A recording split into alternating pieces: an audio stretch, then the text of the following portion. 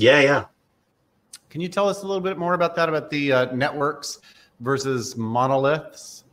Yeah, so this I, this started, but again, there's a fascinating memo that came out of. Um, he, he was a former um, Amazon guy who joined Google. I'm going to forget his name now; it's terrible, but uh, it's on my blog.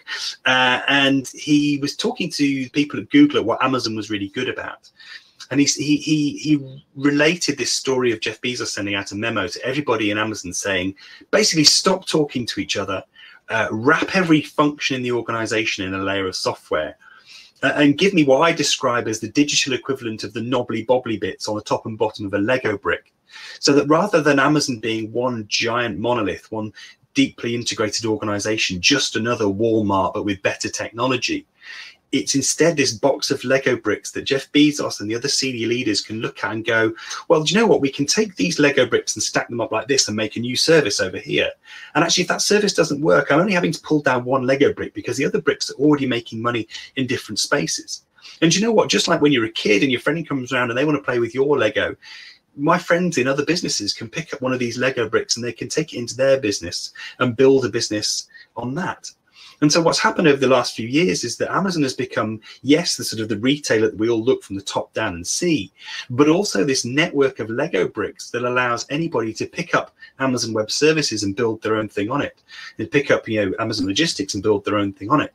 You know, uh, start to pick up all of these different digital chunks wrapped in APIs, but opened up to the rest of the world, just like they're opened up to everybody inside Amazon. And I'm seeing more and more organizations, actually both in the public and private sector, building themselves like that now now. People call it different things. Uh, you know, shared services are starting to go that way but they're basically taking every function in the business, wrapping it in the digital equivalent of the knobbly bits on Lego bricks, and allowing either people inside the organization to play with them and recombine them to innovate and find new opportunities, or actually sailing them out as, as wholesale businesses in their own right or services in their own right to people elsewhere in business, whether they're peers and competitors or people in completely different sectors of industry.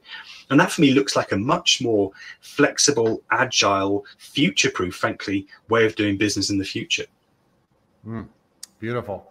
Yes, I, I, was just reading the Gartner maturity model on API strategy yesterday, and they said that one of the transitions that maturing organizations are making in their API strategy is moving from measuring the number of calls made to an API as a KPI uh, to instead measuring the number of applications plugging into an API as the measure of its success. Yeah, yeah, and I think that that once you've got that diversity and you've got that, those whole ecosystems built on your API, that that's power